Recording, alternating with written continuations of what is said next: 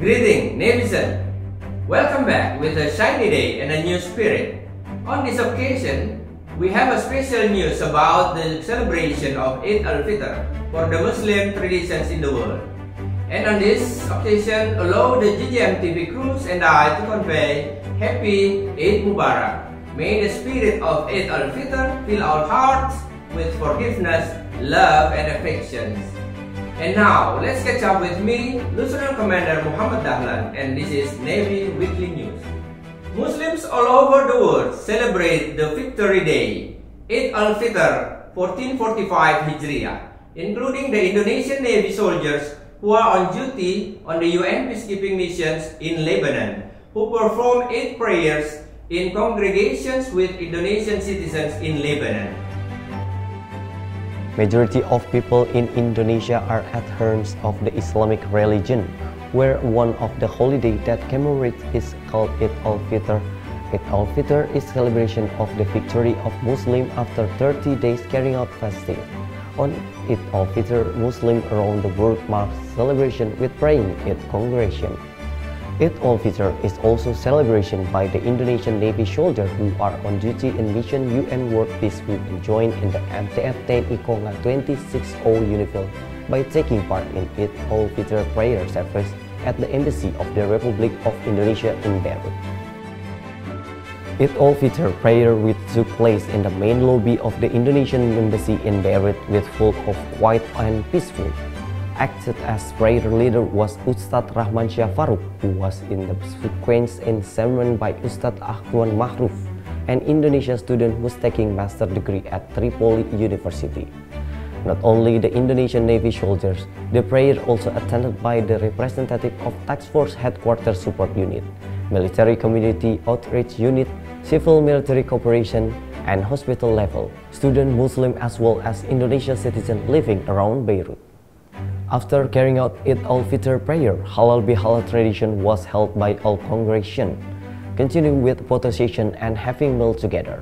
NTF TNI Konga 26 O Unifil Task Force Commander Commodore Wirasyo Haprabu said, this activity taken strength and the friendship broke between the Indonesian embassy in Beirut and Indonesian citizens who are in Lebanon as well the current TNI Task Force carry out operation in Lebanese territory. The 10 quick response of the 10 main naval base Jayapura successfully secured citizens of Papua New Guinea who crossed the border of the Indonesian country illegally. The patrol of the 10 quick response team of the 10 main naval base Jayapura in the Eid al-Fitr holiday season was successfully secured along with its coming from Papua New Guinea waters entered Indonesian waters.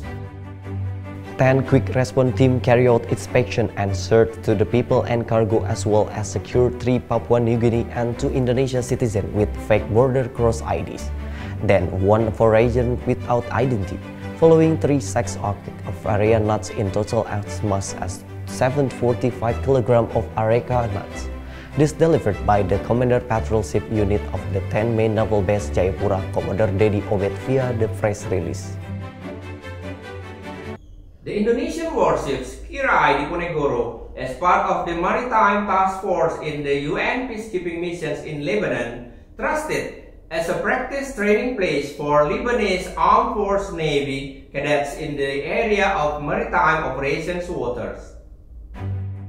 The Indonesian warship KRI Diponegoro as one element of the Maritime Task Force TNI Konga 26 O Unifil are trust as place for exercise practice of the Stage at Sea program for LAF and cadets which was held simultaneously with implementation of the 12 on tax in the area of maritime operation.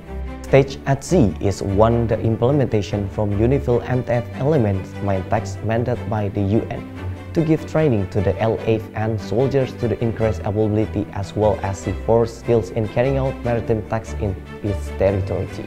This program held for two days with a number of material including SIP, familiarization, pilot, advanced maneuvering, helo ops, damage control, and boarding ops.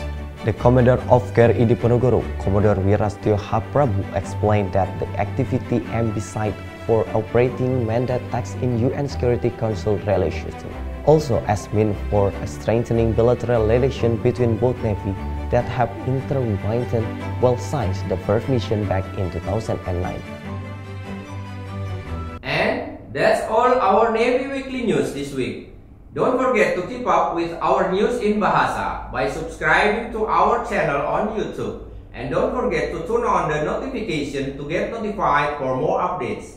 Follow us on our social media on Instagram, X, and Facebook.